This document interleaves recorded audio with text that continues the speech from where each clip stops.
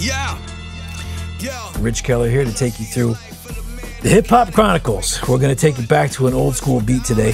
Fresh connection, power to pay homage. Mercenary. We've got you know, a drum loop, and then we've got just a single pitch 808, just functioning as the sub 808.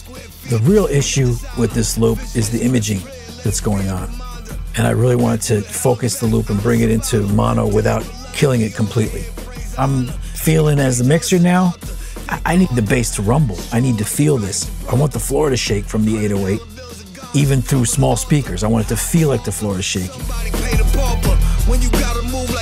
No 808 is an island. It has to relate to everything that's going on around it. And I know for me, it took a long time to come to grips with it of like, when do you mess with it and when do you leave it alone?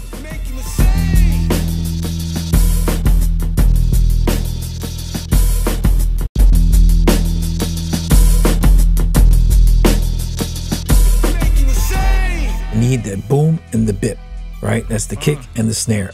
Always got to be clear and powerful in hip hop. Gotta live through the pain to gain the gain. It's only certain levels I entertain. Trying to stay on these numbers and maintain. They can never walk the journey or the way I